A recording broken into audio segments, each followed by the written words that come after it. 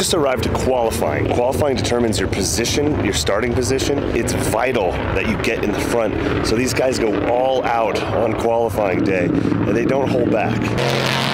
From what I've heard, this is my first Mint 400, so I could be totally wrong, but from what I've heard, they go all out on qualifying day.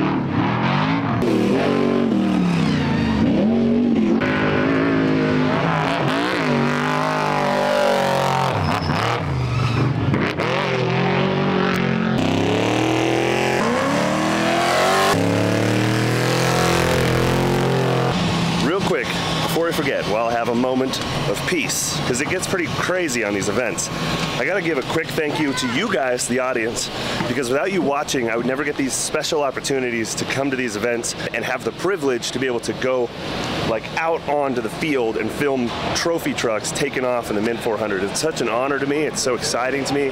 It's what I want to do with my life, and I love it. So for real, thank you so much to you guys, the audience, and huge thank you to BF Goodrich who makes all this possible. I mean, they literally have changed my life over the course of the past four or five years where we've been partnered. Hey, bud. It's just a ton of fun. Come on. Thought he was talking to me. I hate vlogging in public. Oh, look at the size of those cookies.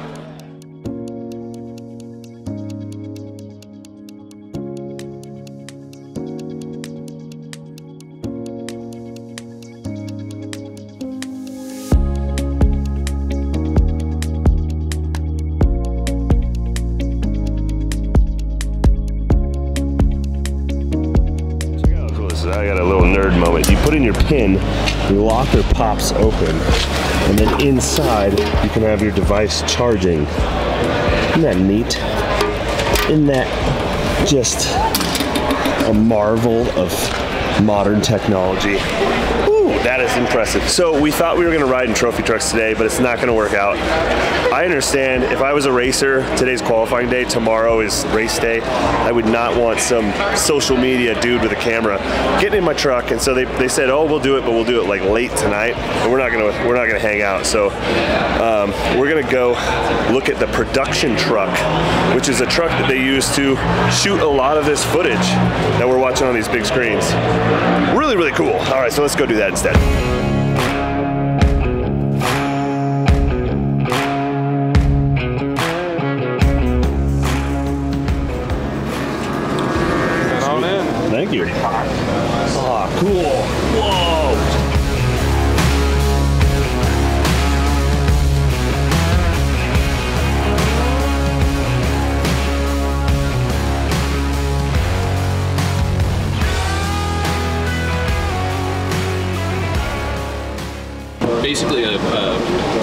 studio on wheels.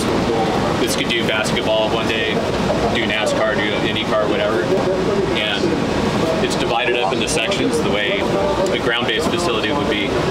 On the front here, this is what we call tape. That's where every individual camera is being recorded. And then it's getting edited together in the other room.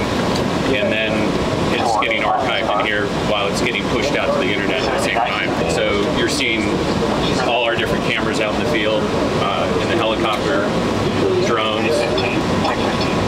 Yeah, that's our helicopter. High, road, low That's road. our drone. Guys cutting off the. Um, we don't record on tape anymore.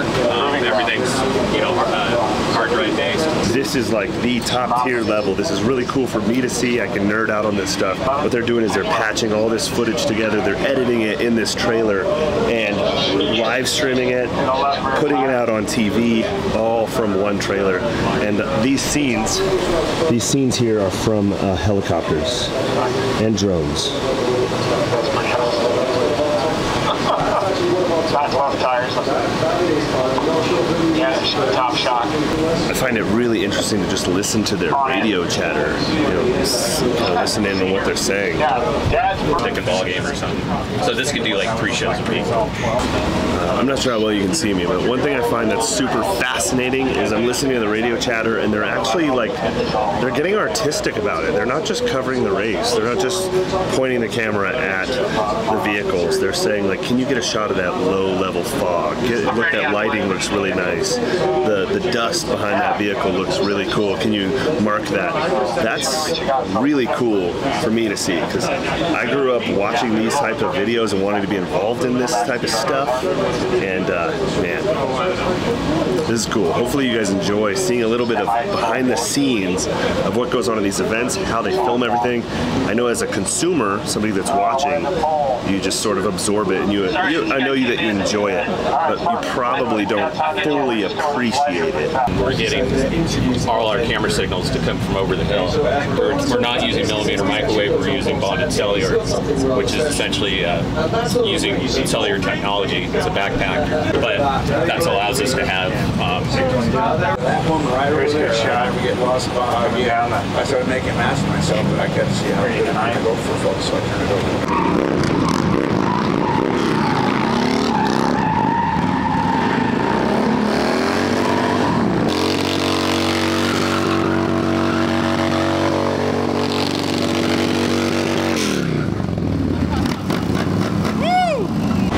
Well, that's something you don't see every day. I wasn't expecting that. That's pretty cool.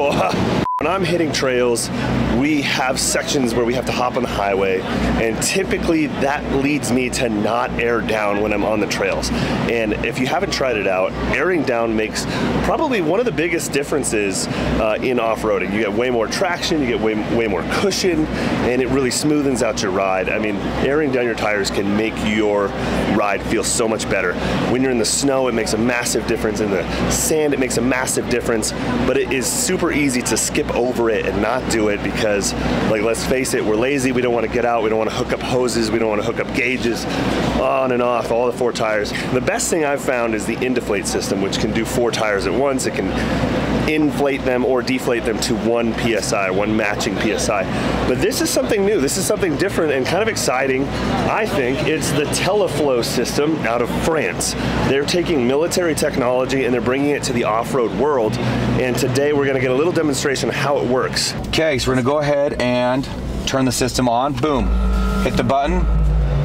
Right now in the back we have a five gallon air tank that the compressor will turn on. It's an ARB twin compressor. It will fill the five gallon tank up. As it's filling the tank up, making sure we have a full system to operate on, the Teleflow and BF Goodrich Active Air system is turning itself on right here. It's gonna start, CR okay. Okay. So I'm gonna go ahead and hit it. When I hit it, it's gonna check pressures in all four tires so we have a baseline of what our pressure is. It goes with the last setting that I had the tires on, which is my road setting, which is 27.6 PSI. So it's gonna go ahead and walk through, check pressure in all four tires, and tell me that we are at 27.6 PSI. Within the system, I have quite a range of adjustments here. So if I turn my system on, you're gonna see, I'm gonna go to pressures.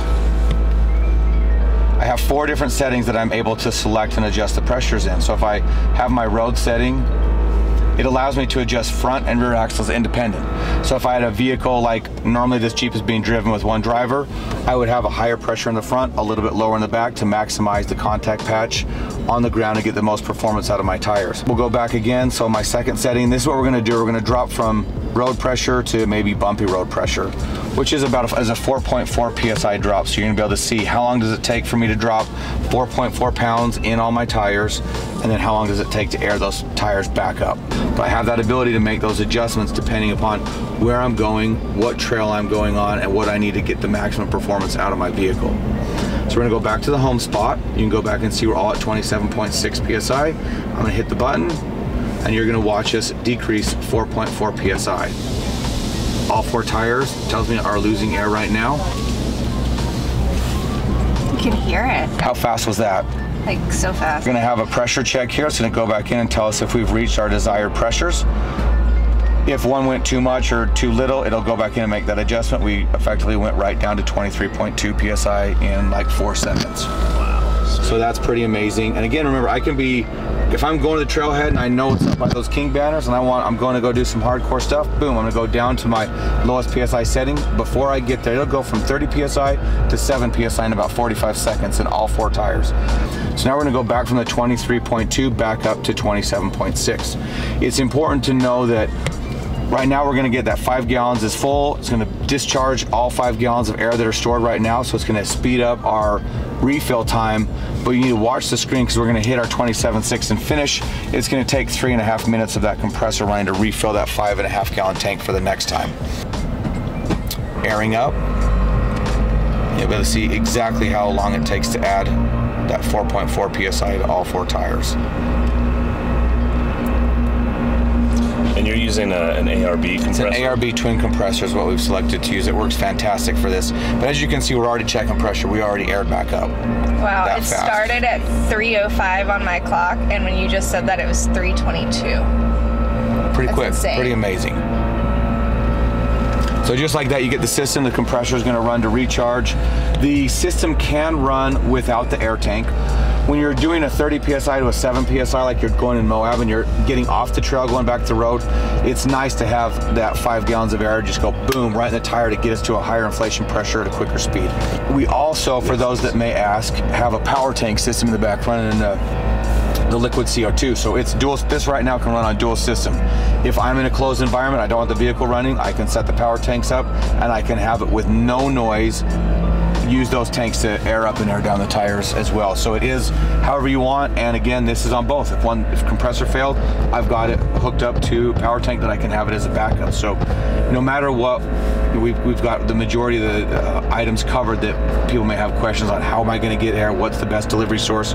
What happens if that source fails? A lot of people have power tanks and ARB compressors. ARB compressors to run their air lockers that could go over and refill the tank if you've got the twin. The non-twin air compressor would not be recommended to operate this system. Your uh, fill speeds would be significantly higher. So the twin compressor, I think, is the right uh, part for the application to be able to do the job correct. I'm gonna say that you've said this a couple times.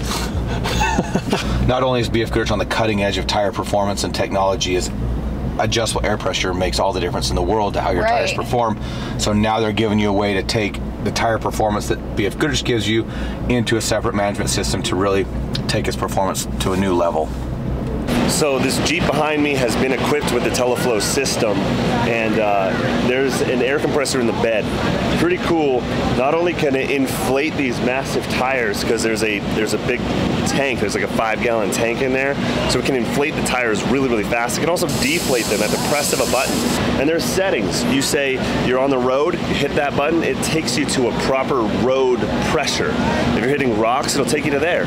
You're hitting snow, it takes you there. And they can integrate all sorts of different systems like S pods, cell phone apps, or a monitor on the dash.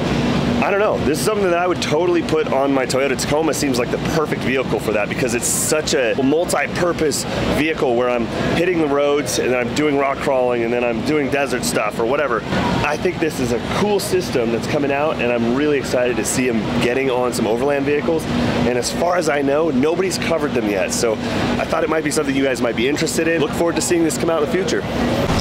Well, that was really cool. I don't know about you guys, but I'm kind of a nerd for the technology and the off-road community, and uh, that was cool sharing some ideas from from the perspective of like an overlander. I actually had talked to them about making a system that allows you to balance or, or level the vehicle. So all they would really need to do is integrate software to uh, have some sort of level, and the tires could deflate or inflate in different ranges to sort of level a vehicle. And they were actually pretty interested. They wrote it down. So if it comes out, just let it be known.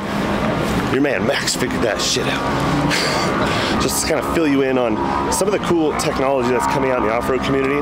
If you're interested in everything else I'm doing out here at the Mint 400, make sure you check out my Mint 400 series. We're doing all sorts of cool stuff with BF Goodrich this week.